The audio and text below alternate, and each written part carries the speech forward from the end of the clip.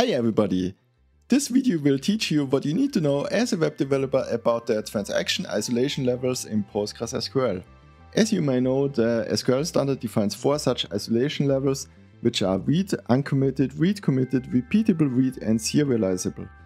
By the end of this video you will understand the differences between them and you will also have a basic understanding that will help you to choose the right isolation levels for the transactions in your web applications. Usually when you execute a start transaction command you also specify the desired isolation level for your transaction. Furthermore, you can also specify if your transaction is a read-write transaction or a read-only transaction. You should absolutely take advantage of read-only transactions if you can, because they can help you to prevent bugs and security issues and may also improve performance. If you don't specify anything, you get the PostgreSQL default, which is a read-write transaction with isolation level read committed. After starting your transaction, you do your actual work, which usually consists of select, update, insert and delete statements. If you are in a read-only transaction, you would only do select statements and insert, update, delete and so on would not be allowed.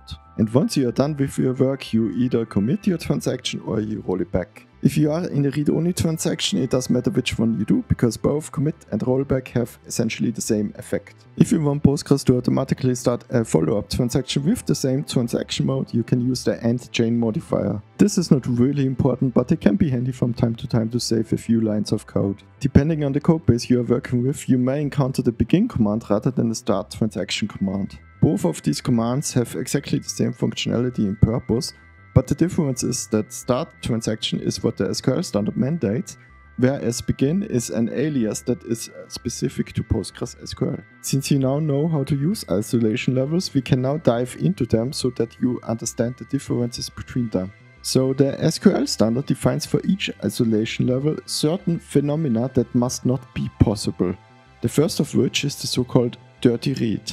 Imagine two concurrent transactions the first of which has an isolation level of read uncommitted. Now suppose that the second transaction updates some data and the first transaction reads the very same data immediately afterwards. If the first transaction can see the change performed by the second transaction before the second transaction has been committed, then this is called a dirty read. Note that the isolation level of the second transaction is totally irrelevant for this situation. According to the SQL standard, the only isolation level under which dirty reads are allowed is read uncommitted. As my previous slide already hinted, dirty reads can never happen in PostgreSQL because its implementation is stricter than required by the standard. This is completely okay because the SQL standard explicitly allows implementations to be stricter than required. The second behavior to understand is the non-repeatable read, but this time I can demonstrate the behavior in a live session. A non-repeatable read occurs whenever the same transaction fetches a given row twice and gets two different results. To demonstrate this, we again need two concurrent transactions, of which the first one has a isolation level of read committed. Next, I'm using a select statement in the first transaction to retrieve a specific record, in this case it's the person with ID 1. Now I'm switching over to the second transaction and update the person with ID 1. Just to show that my update statement worked as expected, I'm selecting the record again within the second transaction. And as expected, the second transaction can see changes that it performed on its own, even though the changes have not yet been committed. Now I go back to the first transaction and select the same record yet another time. As expected, the changes performed in the second transaction are not yet visible. If these changes were visible now, then it would be a dirty read but we have already established that dirty reads are not possible at all in PostgreSQL. Next, I commit the second transaction and as soon as I do that, the changes become visible in the first transaction. And this is the behavior that makes it a non-repeatable read, because the first transaction performed the same query multiple times but got different results. According to the SQL standard, non-repeatable reads are allowed under the read uncommitted and read committed isolation levels, and this is exactly the behavior that PostgreSQL has implemented. If you want to be protected against this behavior, meaning that your reads are in fact repeatable, you have to use at least the isolation level repeatable read.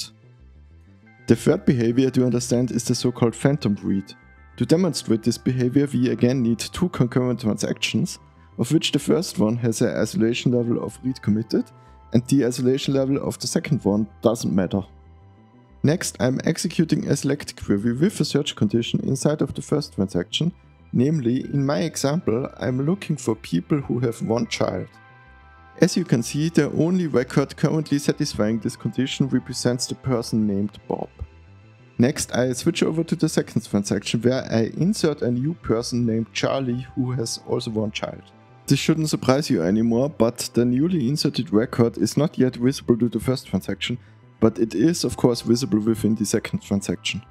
Now when I commit the second transaction, then Charlie becomes immediately visible inside of the first transaction, as you can see when I execute the select statement for a third time. And this is the phantom read because I got back a different set of records from the same select query. Note how this is different from the non-repeatable read which is concerned about data of a specific record changing within your transaction whereas the phantom read is concerned with whole records appearing or disappearing.